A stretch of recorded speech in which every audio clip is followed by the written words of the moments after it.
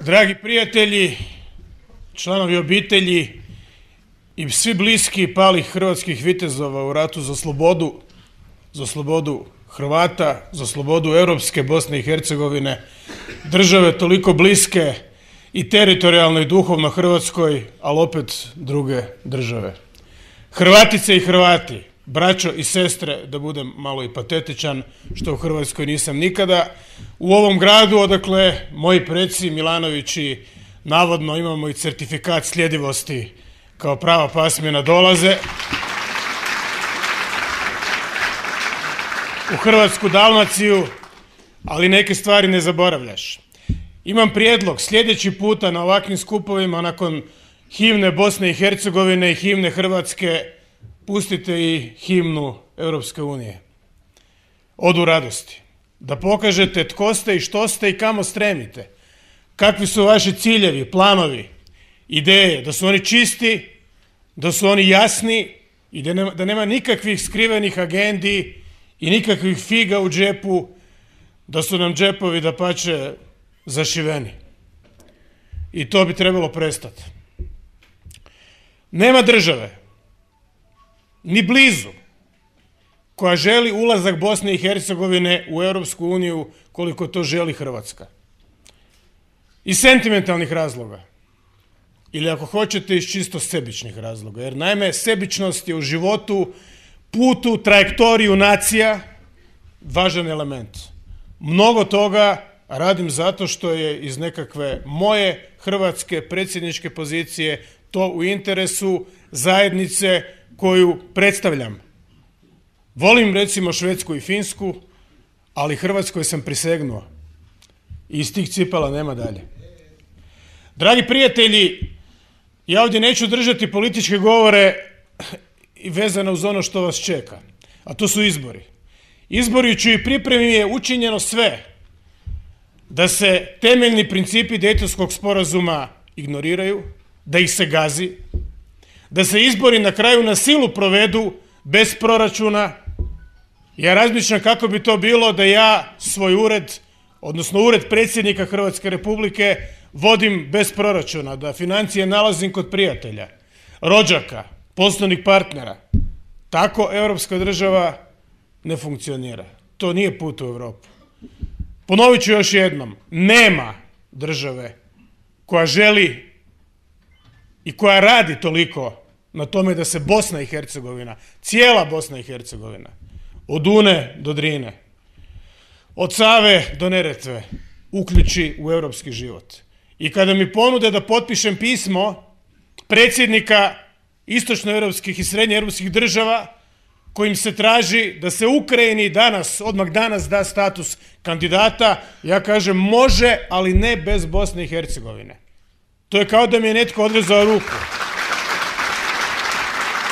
Ja znam da će i nakon ovoga moje i naše ideje, motivi i porivi nekima biti sumnjivi. Ali vjerujte mi da se za, Bosna, za, za Evropsku Bosnu i Hercegovinu puno jače, puno širim alveolama diše u Zagrebu nego u velikom dijelu Sarajeva. Nemojte to zaboraviti. Nama je ovo važno. Ovo je za nas sigurnosno, emocionalno, državno pitanje, opet naglašavam, druge države, susjedne države.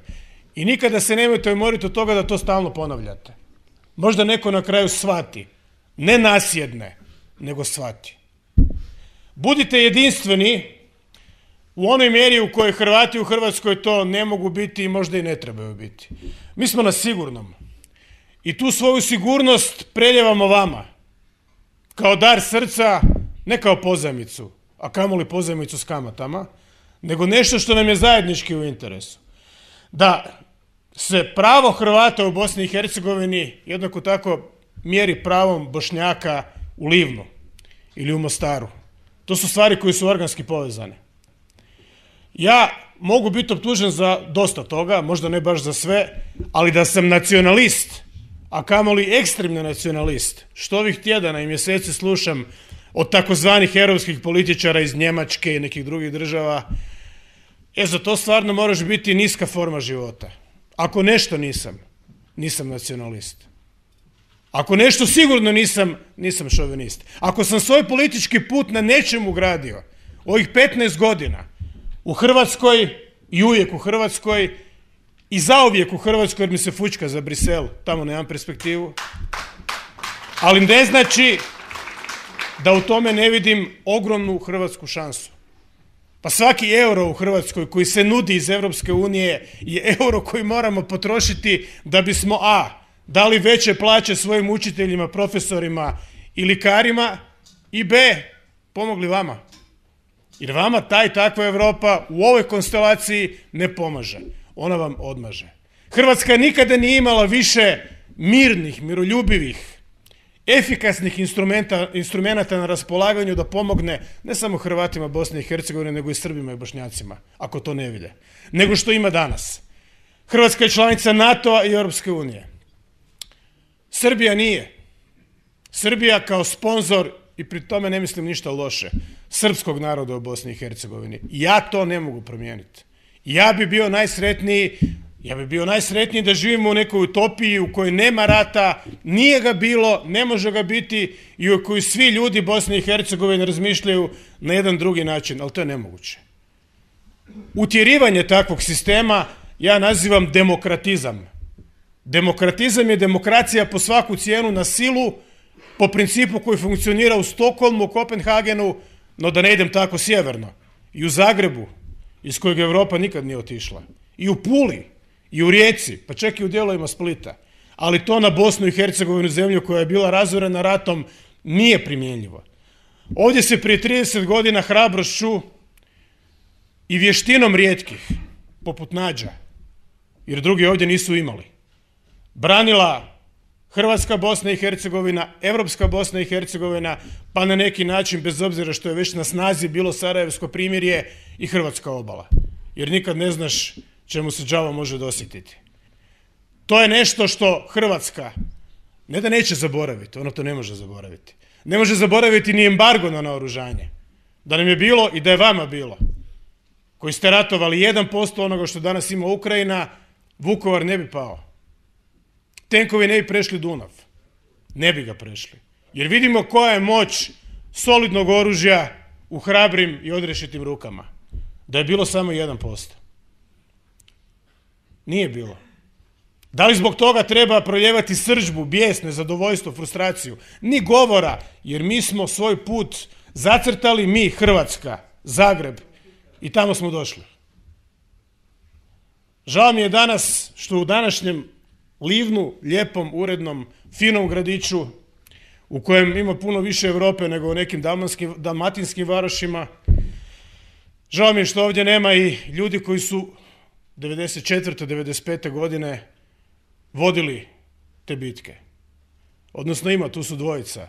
Role, Ademi koje vidim, od zapovjednika, nekih ima, nekih nema. To su ljudi koji su ovdje bilo kad je bilo najteže i njima zahvalnost također dugujemo svi, jer to je bio zajednički hrvatski napor. Napor hrvatskih gardijskih brigada,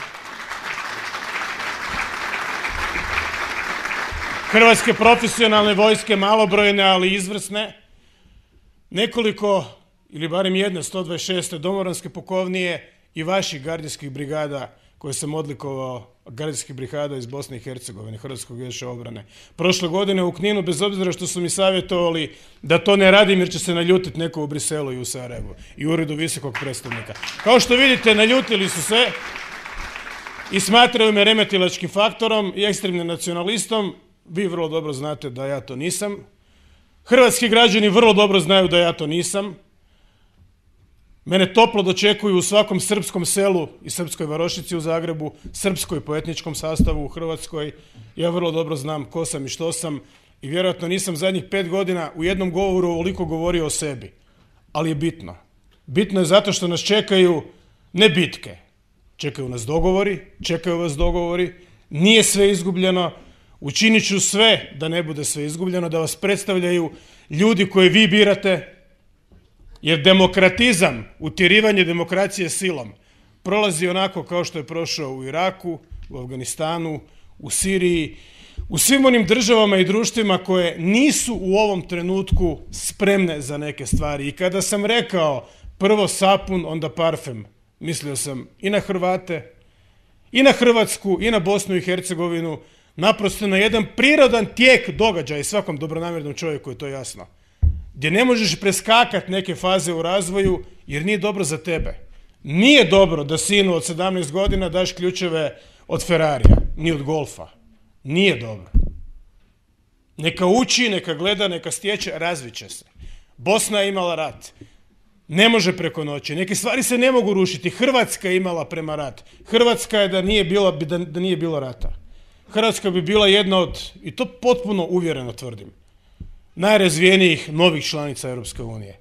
Naime, toliko je stvari išlo u našu korist i u naš prilog te 90. godine da je čak ni ono najlošije, najprovincijalnije, najtuplje u nama ne bi uspjelo osujetiti. Međutim, rat, rat radi ono što tisuće ludih, glupih i nesposobnih ne mogu. I mi smo tu gdje jesmo, dovoljno jaki da vam pomognemo, dovoljno jaki da poštujemo druge. Puštajte ovdje europsku himnu da se vidi ko ste i šta ste. Jer svaka čast i Beogradu i Istanbulu. Ali Europa je prije svega u Zagrebu. Hrvatice i Hrvati, dragi prijatelji, živio hrvatski narod u Bosni i Hercegovini, živjela europska Bosna i Hercegovina. Dočekat ćemo je.